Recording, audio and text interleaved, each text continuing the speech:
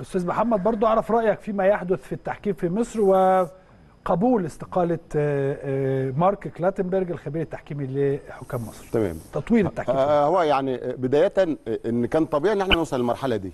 ده الوصول ليها مؤكد يعني بعد ال... في ظل حالة الفوضى اللي موجوده التسيب السباب الشتايم التجاوزات الخروج على النص ضد أي حد ومحدش عارف ياخد حق ولا باطل فهتيجي قدام حد حد حد حد هيقدر ياخد الحق منك. ودي فيها مش مش بقى واحد بيتشتم في مصر لا ده ده انت سمعة البلد كلها بقت على المحك علشان انت تجاوزت. يعني انت لما تلاقي انت المفروض بتصرف ملايين الدولارات ولا آه، آه، كتير جدا علشان تعمل حاجة طيبة للبلد وتقدم صورة إيجابية وصورة كويسة. فلما تطلع صحف عالمية وكبيرة زي الصن والمورال والديلي ميل تتكلم على إن مارك كاتنبرج الحكم الإنجليزي المعروف فر من مصر خوفا من تهديدات وخوفا من شتايم واتهامات ووسائل الإعلام بتتدخل وتتهم. في حاجة في الدنيا اسمها اتهام. يعني ده كلام اللي اتقال على إحدى القنوات التلفزيونية اتهام بالحاجة الشذوذ والحاجات دي كلها.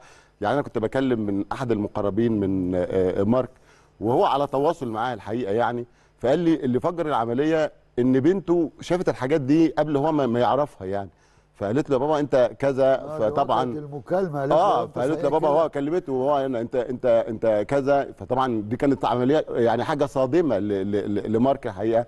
آه إحنا ليس بندافع عن مارك إحنا بندافع عن مصر عن حقنا عن إن إحنا بلد نستحق نكون عندنا قيم وأخلاقيات وأداب ومبادئ الكل يحترمها إن ما حدش يكون فوق القانون.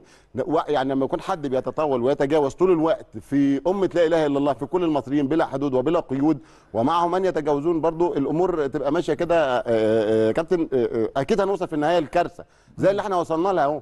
آه، فانت وصلت لمرحله صعبه جدا.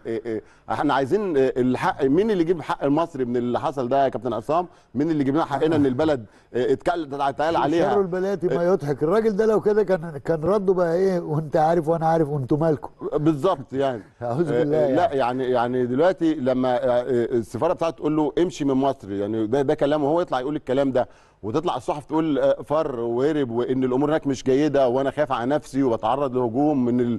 من جماهير ومن إعلام فهذا أمر غير أيوة. لائق لا يليق بمصر على الإطلاق دلوقتي ال- الاتحاد الكورة قرر قبول استقالة مارك نعم. وقرر في نفس الوقت تعيين خبير أجنبي. أنا طبعا بضم صوتي لصوت الكابتن عصام ايدي ما ايدي ده؟ حاجة كارثية. كارثية يعني. وكل الحكام في مصر وكبار الحكام في مصر يعرفون من هو ماييه الحقيقة. يعني آه، آه، آه، وإزاي مشي من الاتحاد الأفريقي. فهذا يعني لا يصلح أن يطور التحكيم في مصر على الإطلاق. يعني ما لم تأتي لي بخبير أجنبي على مستوى عالي وعلى كفاءة عالية فأنت مش هت خلاص يبقى يبقى المصري أفضل. وعندنا في مصر كفاءات كتيرة جدا يعني. فالأمور الحقيقة صعبة جدا. والآن يعني بات لا واضحة. نعم, نعم. انت قلت إيه في الآخر؟ عندنا في مصر كنت لسه. طبعا. آه عندنا. ما أنا بقول لك عندنا. كده. عندنا. كان عندنا. آه ولكن لا يمكن يعني إذا كان راجل أجنبي لم يتحمل ما يحدث.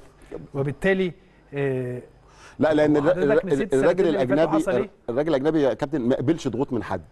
وما, طيب. حدش يعني ما خد الكابتن إسلام ده وديه ل- للفرقة سين وخد الكابتن عصام وديه للفرقه صاد وخد يوسف وديه هو الكلام ده اترفض وانتهى. فتعرض لهجوم فهم عايزين حد يقدر يستجيب للحاجات دي. أعتقد إن الأمور باتت صعبة جدا والموقف بات صعب والاتحاد الكوره نفسه بات في مأزق في هذا الأمر الحقيقة يعني. في بس اتحاد الكرة خد زاوية ضيقة إنه أما وان الراجل طلب الاستقالة فهذا يعني إقامة عليه حد ال- اللي هو الشرط الجزائي. ده مش صحيح.